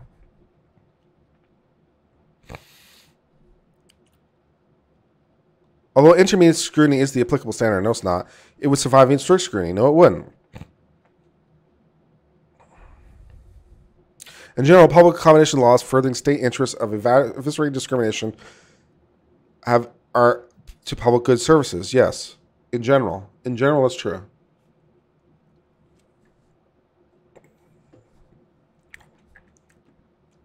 If eradicating discrimination on the basis of sex is a compelling interest, then so is Minnesota's interest in eliminating discrimination based on sexual orientation. I'm not sure that quite follows.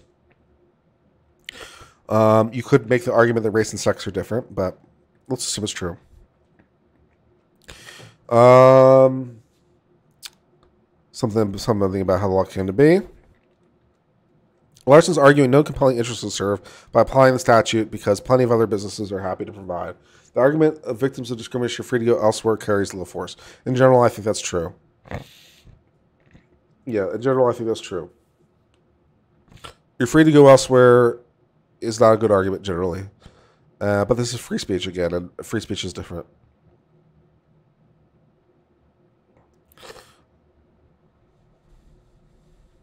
Isn't there a guy in New York City that takes other people's art, changes it slightly, and sell it? I'm sure there is. I have no doubt in my mind that there is. It's New York City. I mean, there are people selling like complete knockoffs of like Chanel bags and stuff, so I'm sure there is. I, I particularly like the guys who do the spray painting. I mean, I know that like it's kind of rote, but you know, because they do it so much. But they do those like spray painting, and they like get the little blades, and they like make really cool like uh, skylines, and sometimes they'll do like planets and stuff. I mean, I know it's rote for them because they do it like they could do like a pretty what seems to be pretty impressive painting in like under five minutes, but I think it would look great. I'd buy one. I should have bought one last time I was there, to be honest. I just didn't have anywhere to put it. Um, statutes also normally tailored to serve the interest in eradicating discrimination. It targets only conduct, not speech. No, it doesn't.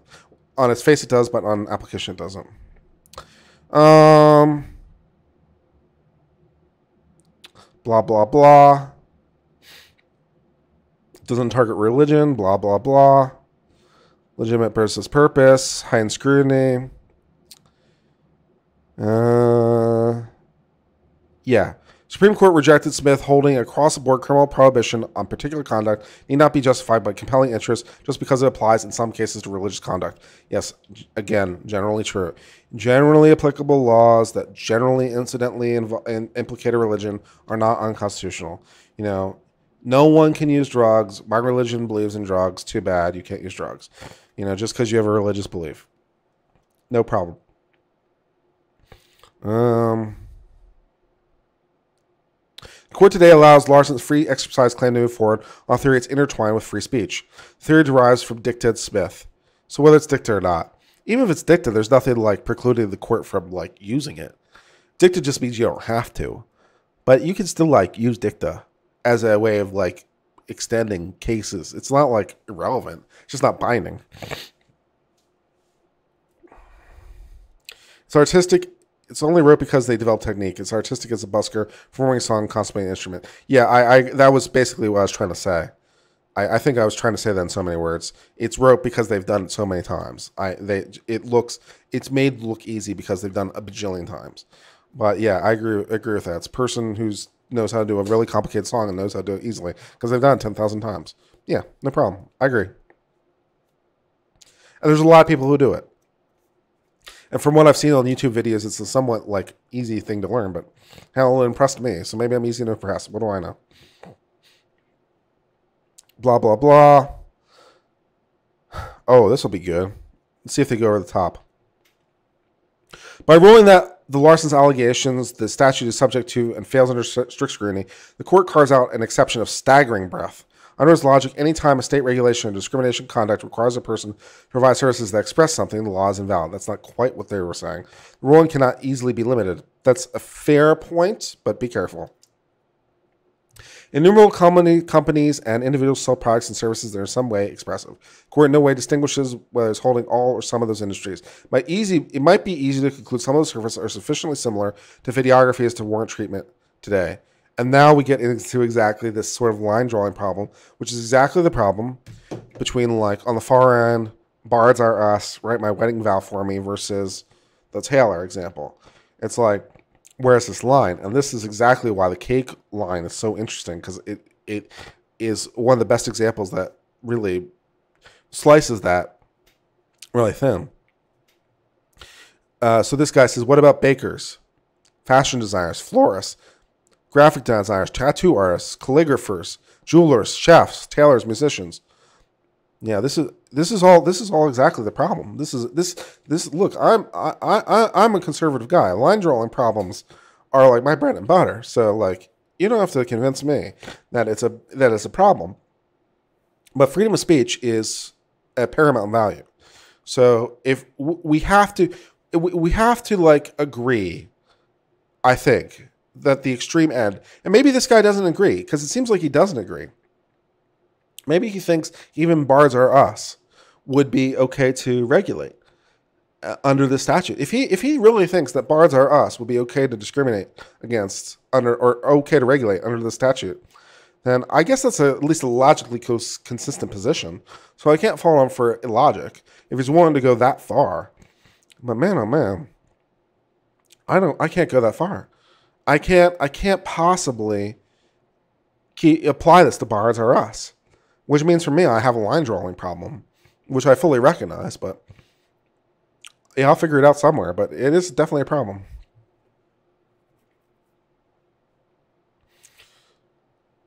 Um, all its businesses allowed to refuse service to gay and lesbians, whatever they conflict with the owner's personal religious or philosophical beliefs.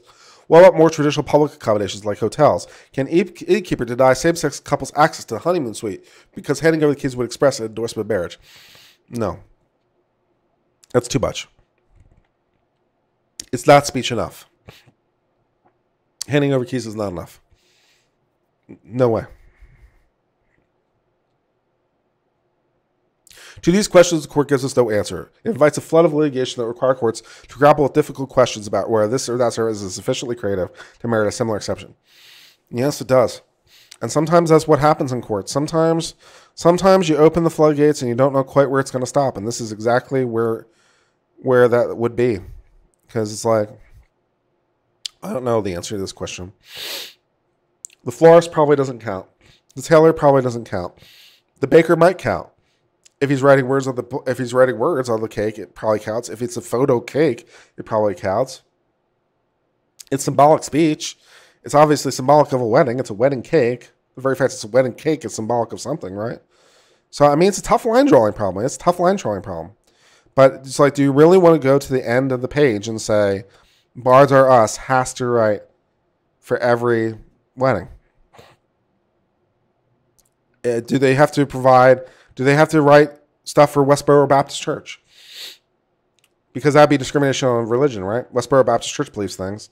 Because that's exactly, because everyone just thinks this is a conservative problem. It's a liberal problem too. You know, what if your Bards Are Us and, and you're left leaning, so you have no problem with writing vows for gay weddings. You think they're great, and then one day, uh, Westboro Baptist comes into your church, uh, into your business, and says, "Write us vows for our weddings at our church," and now you can't say no because you'd be discriminating on the basis of religion. See what I mean? This swings both ways. This is not just a conservative problem. This is a left. This is a liberal problem too.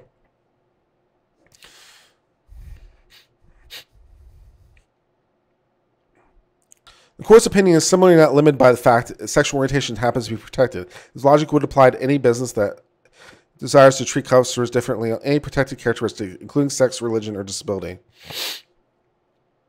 And when we start in the business, wedding business, we don't do interracial weddings. We don't film Jewish ceremonies and all. Oh, I will not end there. It's, that is a very, very fair point. That I will give you a point for. Yeah. It's like if we bust open this dam. Now, this is actually a, a conservative argument. But it's made from the left, but still a conservative argument. It's like, where will this end? It obviously isn't going to be li- limited to weddings. That's insane to think it would be limited to weddings. That doesn't make any sense. So it's going to go beyond weddings. And it's like, where does it end? That's a very, very reasonable argument. So I, I, I think it's very good. Will it bust open all civil discrimination law? Will it eventually uh, will eventually lead to overturning Heart of Atlanta Motel? which is the case that basically says hotels can't discriminate uh, on the basis of race. That's the case that says that the Heart of Atlanta Motel can't refuse to rent rooms to interstate travelers because they happen to be black. That's Heart of Atlanta. Will this will this decision someday lead to overturning Heart of Atlanta? It's a very reasonable argument. And see, that's what I mean. Slippery slope is not an invalid thing in law. Because everything leads to something else. It's all we we live in a common law system. Everything leads to something else. So it's not slippery slope to say, well, will this case someday lead to overturning Heart of Atlanta? it's a very logical question, in my view.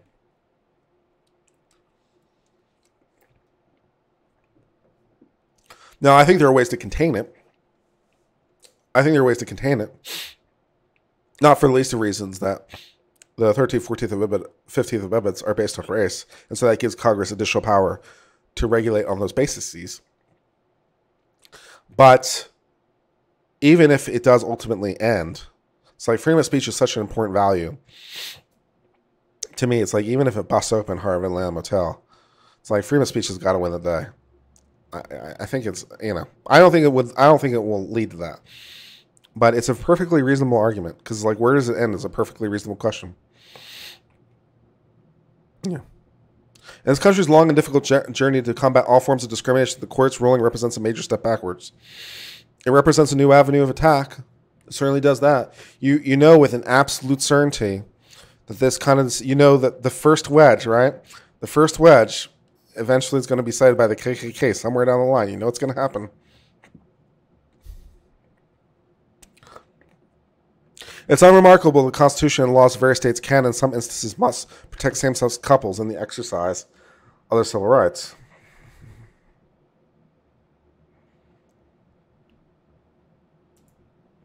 One second.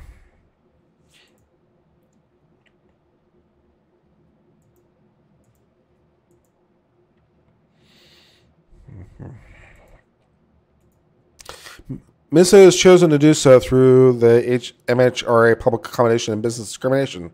Like all laws, it conducts targets conduct, not speech or ideas. Yes, in its in its broad, it does. This is this is speech. This has to be speech. Well, I know that it has to be speech. There are pure forms of speech, but still. The Supreme Court has already held that this statute is constitutional. Yeah, in general, it is.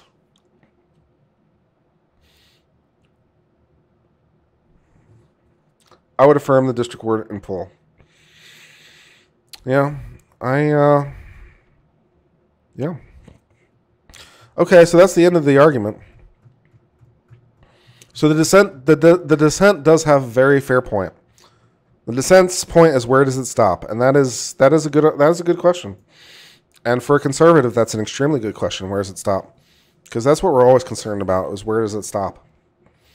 And it's like, yeah, I don't know the answer to that question. It's just like we believe in freedom of speech as a paramount value, um, and it has to win in the end. And we hope that everything else is going to work out. I know that's not a great answer, but it's the best answer I have. Um, so that's all I have. Are there any questions beyond that? Yeah, thank you for thank you for chatting me on hydrating, right? I don't have super chats enabled. Yeah, I don't. I thought I did. I thought I enabled it, and it shows as monetized, and so I got nothing. Uh, as long as I'm lunch streaming, let's do some sort of YouTube stuff and try to figure out why I don't have super chats.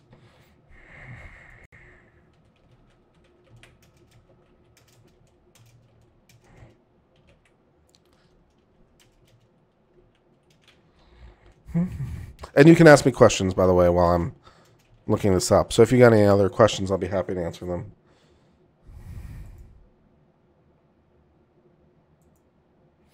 Mm-hmm. Mm-hmm.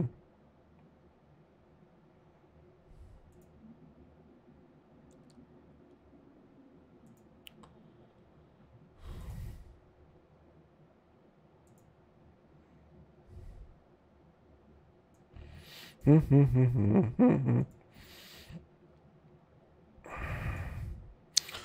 have no questions to answer. I feel very, very weird just standing here in silence.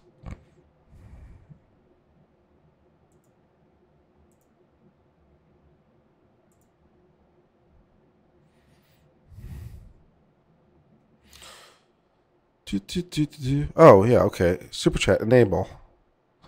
Commercial product, blah, blah, blah, blah, whatever. Uh, my God. I have, to, I have to sign a different agreement for this.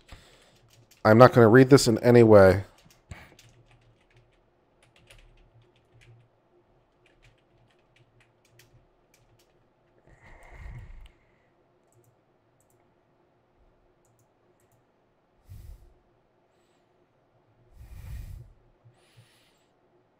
I don't have a company name. I need a company name. I don't know. What should my company name be? Blackleaf LLC.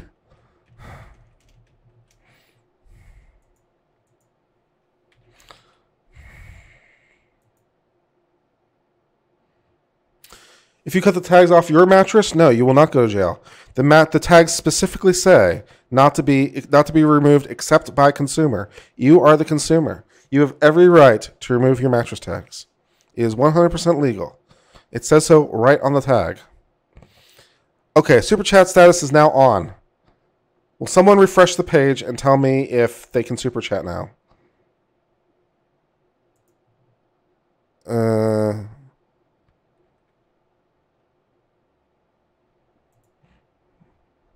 if so, give me a buck.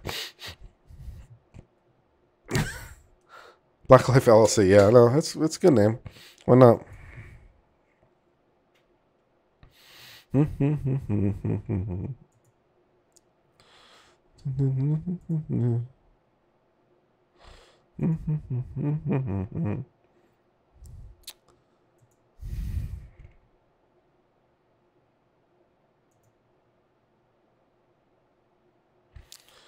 Viewers can now send super chats. Yay.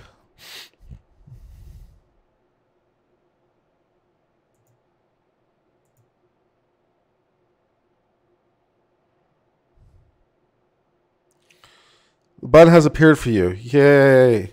So now now you can super chat. well, let's go.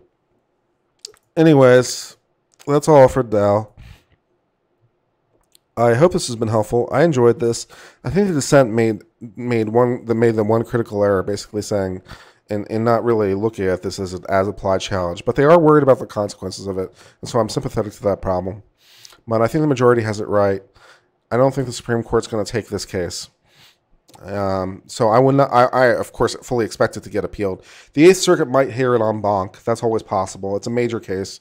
So I think the probability of the Eighth Circuit hearing it en banc, I'd say probably twenty percent chance.